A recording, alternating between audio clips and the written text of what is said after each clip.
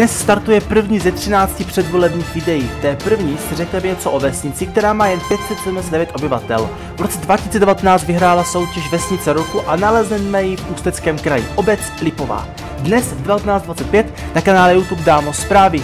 Je to váš hlas, je to váš starosta.